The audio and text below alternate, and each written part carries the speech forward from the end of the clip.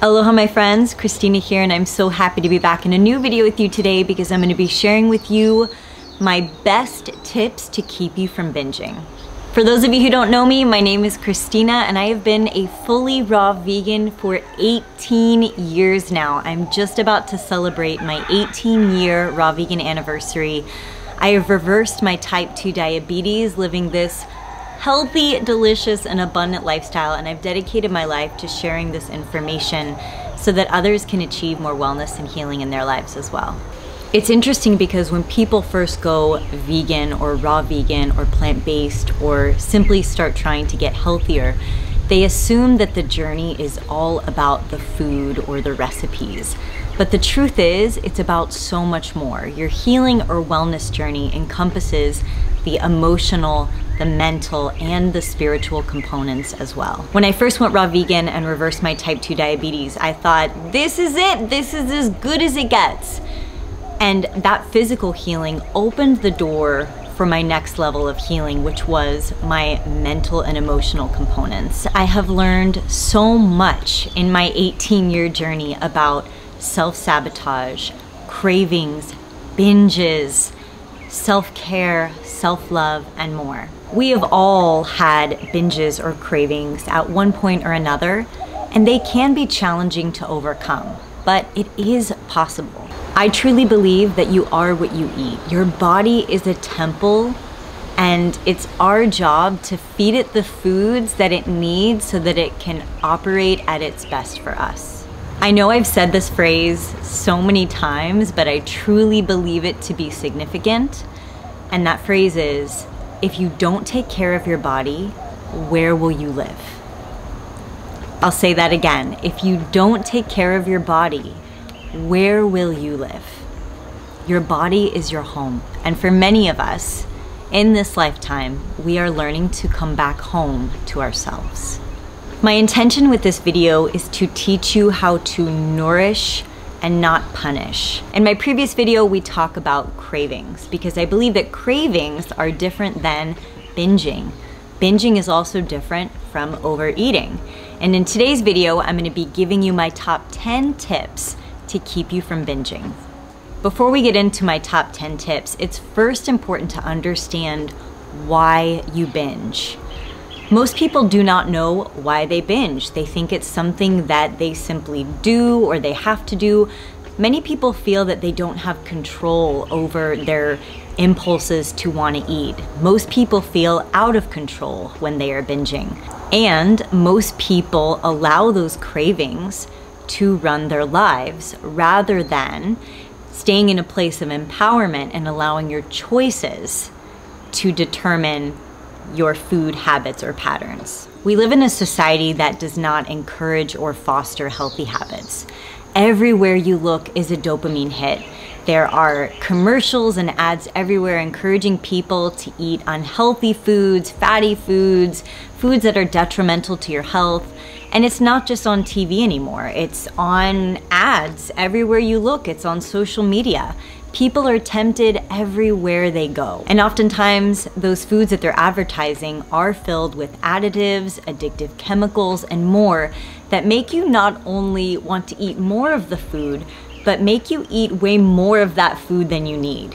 So when you take those foods that have those additives or those addictive chemicals in them, that physical component, and when you couple it with your emotional state whatever emotional or mental state that you're in that feels the need to numb or stuff or self sabotage in a way, I often find that that is a lethal combination. It's too easy nowadays to use food as a numbing agent and to try to stuff away your emotions. You can also use alcohol or drugs, those are more extreme examples, but food can also be a drug. And in the case of binging, there are people who tend to step into a place of avoidance, right? Or maybe perhaps it's a space of fear or not wanting to address certain emotions or problems, situations, people in their lives. And what ends up happening is they end up shoving it down with food. And this is why I refer to food as a numbing agent. Is it possible to eat away your problems? I think that there's a short term satisfaction that comes with eating your favorite foods and having that quick fix of something taste really good for a moment and bring you short term pleasure. But then after that, I think most people feel physically worse. They feel physically sick, they ate too much. And I think that it comes with shame and guilt as well, which, on top of the emotions you might have already been feeling, can only make the matter worse. So, how does one overcome binge eating? Where do you start? When you are this afraid of addressing other areas in your life, even listening to me right now might feel overwhelming. So, I just want to let you know you're not alone. I'm here with you. We're going to start together. So, even you showing up today with a desire to change this, an interest to change this, or an awareness is the first step. I've got your back. I'm gonna teach you my tips and my tools, and we're gonna do this together. So, I recently did a deeper dive on this topic with my Inner Circle members. And for those of you who don't know, I have an Inner Circle membership where I host live Zoom calls twice a week, once every Wednesday and Sunday. And we hop on a Zoom live together and I answer their questions and we talk about these things together. It's essentially a support group. This past week, we talked about binging, and I presented some journal prompts or questions for them to consider to dive deeper into this topic. So, here are the questions that I want you to journal about as well. Do you feel that you are self sabotaging with food? And if so, when, how, where, and why? When do you find yourself falling into the trap of binge eating with food? What are your biggest triggers in life right now? Or what are your primary stressors? These could potentially be things that you don't normally address, but they're things that I would like for you to answer right now. What do you wish you could change about your life right now? And I invite you to go into detail about that. What are you not addressing in your life that you could be addressing right now? What have you been putting off? Where can you find empowerment in place of avoidance?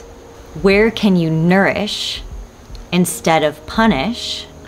And ultimately, what can improve your quality of life at this moment in time? And by this moment in time, I mean this season of your life. I had to wait for the sun to pass for a second there because it was blasting me and it was getting so intense. The last and final question I want to address before we jump into these points is where are you self sabotaging in your life? In every area. And what steps can you take to address those areas of self sabotage, to improve them, or even to step more into alignment with who you are or what you want to achieve, what health goals, what goals in general that you want to achieve on your journey. Self sabotage keeps us from achieving our goals and it keeps us from being in the place we want to be so that we can live optimally. If the goal is to have ultimate health, at some point you will have to master self sabotage to get there. So let's do this together. No matter which tips you choose to implement into your life or to practice from this video, there are a few tips that I'd like to give you that you can do every day and at every meal that will keep you grounded and in alignment with healthier eating practices. If there was one thing that you could take away from this video, let it be this. Are you ready? Be present with your food. Before I even get into my tips that I'm going to be sharing with you, this is first and foremost the one thing I want you to remember at every single meal be present with your food. Turn off the TV, put your phone down, don't read a book, get rid of all distractions when you are eating, and be present with your food. Be present with your body, be present with your emotions and how you are feeling. Turn off all distractions and take a second before you start eating to get grounded in your body. Feel what you feel. Never eat when you are emotional Eat when you are at peace. And if you ever find yourself sitting down when you're stressed or emotional to eat, take a second to take a few deep breaths, calm your nervous system, say a prayer, pull yourself back into balance before you start ingesting food. Because the state in which you consume anything matters. I repeat, the state in which you consume anything matters. Food being one of the most important ones. Always bless your food. Give thanks for your food. Something that I do, or something that you have probably seen me do, is I like to put my hand over my heart and say thank you. And I honor the process of nourishing my body.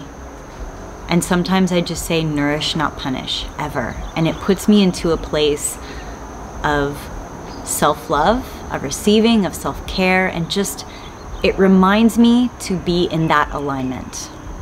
It's as simple as saying thank you. And it's a reminder that I am nourishing myself and I am in a state of calmness and presence when I am eating. You are not a machine. You are a deeply feeling, breathing, and living human. You're not a victim. Outside elements do not control you, and nothing determines what you put into your body other than you. The only person feeding you food is you. So please know that you have the power to choose what you put into your body. Let it come from a place of empowerment and self love. Woo! Sun is back. So let's jump in to these top tips to keep you from binging. Number one, eat earlier.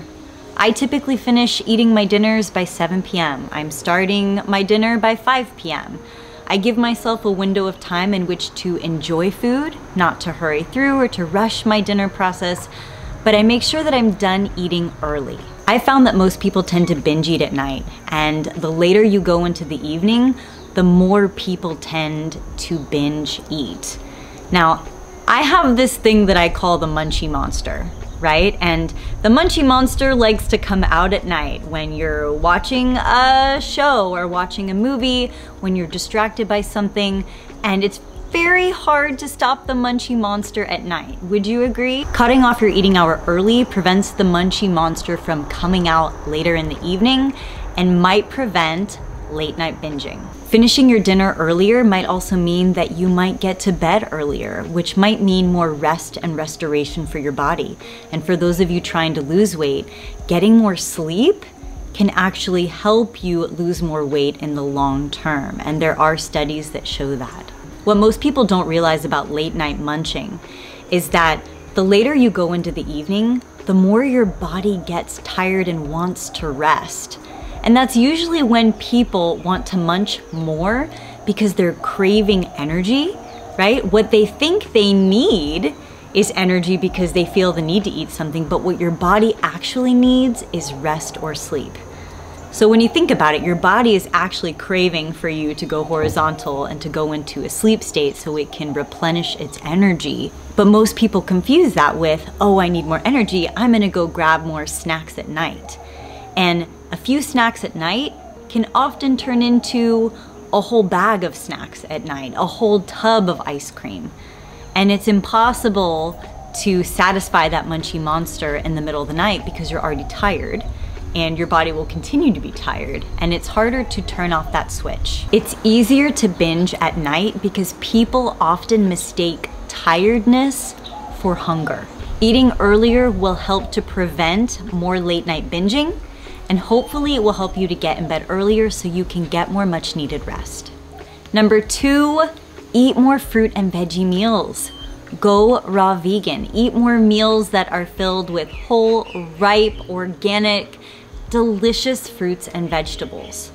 Oftentimes, people deny their bodies of the things that they really want. And the more that you deny yourself of certain things that you want, the more likely you are going to binge on them later. But when it comes to fruits and vegetables, it's a little different. People are afraid to eat raw vegan. They're afraid to eat fruit because they think it has too much sugar. They're afraid to eat these big salads they see me eating because they're afraid of eating too much. But what ends up happening is instead of going and eating the healthy fruits and vegetables, they go and they binge on pizzas or pastas or other unhealthy foods. What's interesting about this is that most raw fruits and vegetables, especially fruits, are known to be craving busters. Every time I eat a big plate of fruit or I eat a smoothie bowl, I feel so satisfied after eating these meals because I am filling up my carbohydrate fuel tank. I am allowing myself to indulge in these healthy foods, which leaves me completely satisfied. And I believe that the more someone deprives themselves of something, is the more that you end up wanting it. This raw vegan lifestyle provides us with something that most other lifestyles don't provide for us, and that is health freedom. You can eat an abundance of fruits and vegetables and find health freedom with no guilt, no shame. You can feel better, look better, have more confidence, have more glowing skin, sleep better. It almost seems too good to be true, but it's real. Satisfy your need for carbohydrates by eating more fruit. Use that as a craving buster food. I would much rather you binge eat on fruits or vegetables than binge eat on anything else.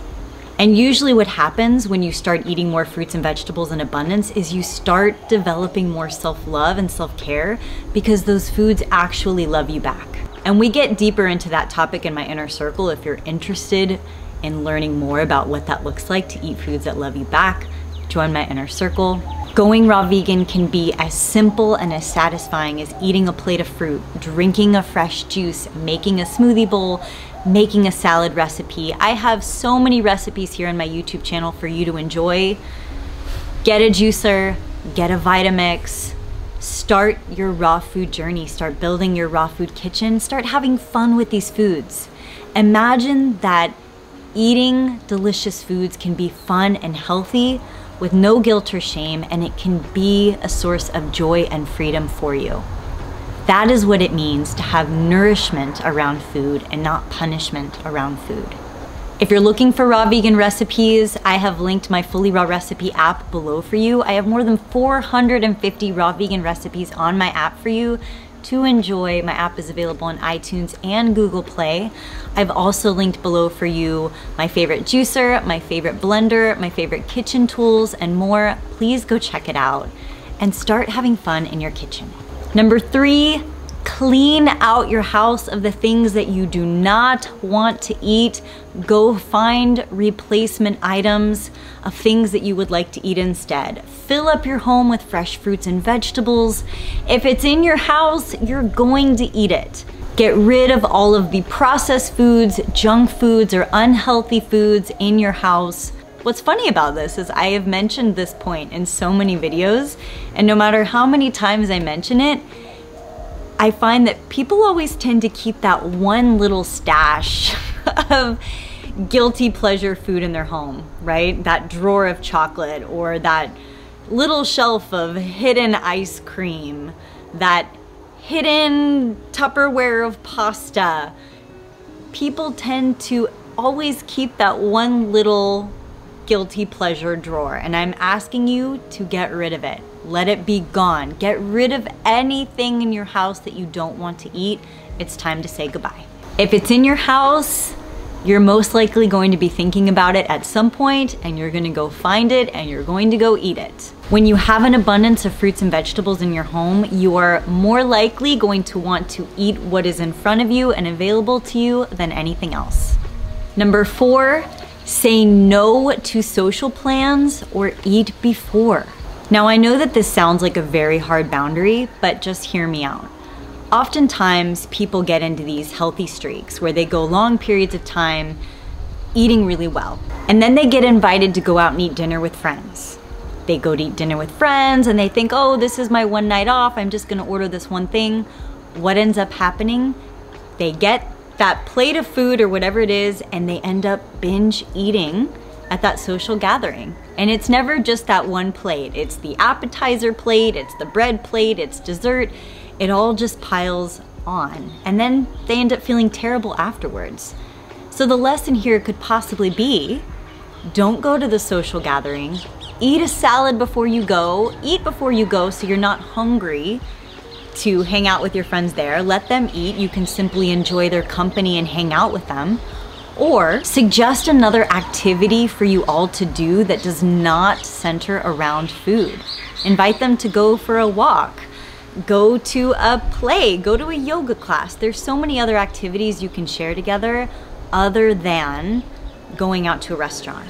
And if you really feel inspired to share this lifestyle with them, invite them over to your house to share a meal with them. Make them a giant salad, bring them into the beauty of this lifestyle, and have fun sharing these delicious and healthy meals with them. That's my favorite. I often find that people are so excited to come over to my house and have me make raw food for them. It's such a game changer. When they see how abundant and how delicious this lifestyle can be, they're immediately hooked, and trust me when I say it changes lives. Sometimes all people need is a little inspiration and a little support to help get them there. And from there, you build allies, you build community, and you have some friends to share this beautiful lifestyle with. My number four leads into my number five, which is to find a non food related activity to satisfy your need or craving. In other words, Instead of immediately running to food every time you have a craving, which will lead to binging, what if you went to exercise instead? What if you decided to take a bath or spend time with your animals or go for a walk? Go to a yoga class, read a book, listen to a podcast, watch one of my YouTube videos, turn on music, dance around the house. There's so many other things you can do other than to go and eat food when you need fulfillment. Find other things to bring you fulfillment, satisfaction, or joy in life. Oftentimes, I find that when people do want to binge, it's because they feel empty inside, or fear, or they want to avoid reality in some way. Use this as an opportunity to expand more into a life you want to live, to create more happiness for yourself, to build healthier habits. This leads into my number six, which is really focus on creating new healthy habits in your life. Now, oftentimes when people start something new, approach a new health path or journey, they think that these things are magically going to fall into place. You cannot achieve different results and do what you were doing before. Actually, set the intention to build new healthy habits. Nobody likes hearing this, but you're not going to have change or experience results unless you try something new. Change is scary for many people because they're afraid of the unknown or what might happen if they step into this new space. When you're not seeing results, call yourself out on it. Acknowledge the areas that you need to work on and go work on them. Set a plan for yourself, write it down the night before. Yes, those extra steps matter. Trust me when I say you're not going to see improvement or results unless you do something you haven't done before. It's good to put that extra effort in. It means that extra effort will help you get somewhere. Oftentimes we see other people and we assume that, oh, it just came easier for them. The grass is much greener on the other side. You see someone on social media and you think that they were born that way or that it was easy for them. I am telling you from 18 years of experience, that's not the case.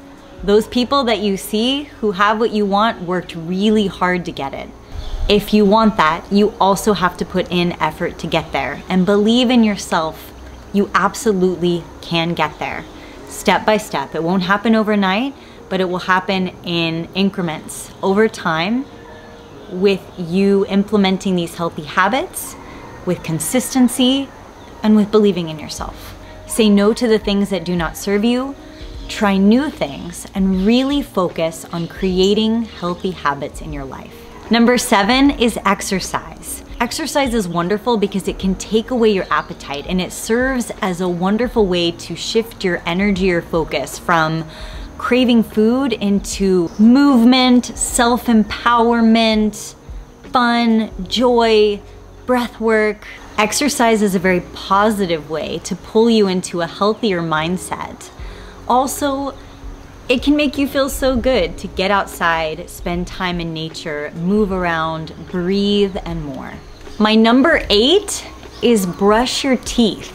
Now, this is one of my old tricks in the book. So after you finish eating your early dinner, immediately go and brush your teeth. And usually what that does is it changes your palate and it gets rid of a lot of sensations or cravings in your mouth because most people don't want to go and eat something after brushing their teeth. My number nine is imagine your outcome. Now this is actually a very powerful visualization or manifestation tool that I've been using since the beginning of my journey. And I use it when teaching people how to get rid of their cravings as well, is because when you really want a food and you're thinking about a food, all you can think about is getting that food right now and the taste and what it will provide for you in that moment, that joy, that pleasure, that 10 seconds of pleasure it's going to give you. All you're thinking about in that moment is that short term sweet satisfaction. And when we pull ourselves into the space of imagining the outcome, what we're really doing is saying, hey, what will you feel like after eating that? When I usually ask people that question, their first answer is, I already know I'm not gonna feel really good. And why do they know that? Is because they've done it before and before and before. They've done it many times before. You already know how you're going to feel. You're gonna feel good for a second and then you're gonna feel terrible for the rest of the night and probably throughout the rest of the next day. It takes people a long time to get tired of their own behavior before they realize that they have to change. And you really don't want it to get to that point. So if you really want to stop binging and if you want to start feeling good after you eat, then a tool you can use would be to imagine the outcome after you finish eating. Really pull yourself into how you're going to feel when you finish eating that food. For me, that was always something I could use as a powerful tool because I would imagine how sick I would feel after eating and how I wouldn't feel good and how miserable I would feel. I would imagine the guilt, I'd imagine the shame. And once I really pulled myself into that space, I did not want to binge eat anymore. I would go and do something else, and I used that as a way to move into another space. Oh, I love you. I love you. I love you. I love you. I love you. You. No, no, no. My number 10 is an invitation to join my inner circle. For those of you who really want to change your lives, who want to find other people who are on this journey, who want to find community, who want my support, and who really want to master this so that they can step into their ultimate health freedom, this is for you. I've been running my inner circle for years now, and not only do you get to talk to me personally twice a week and ask me questions and get support, but you also get access to previous years of replay, other challenges, and much more.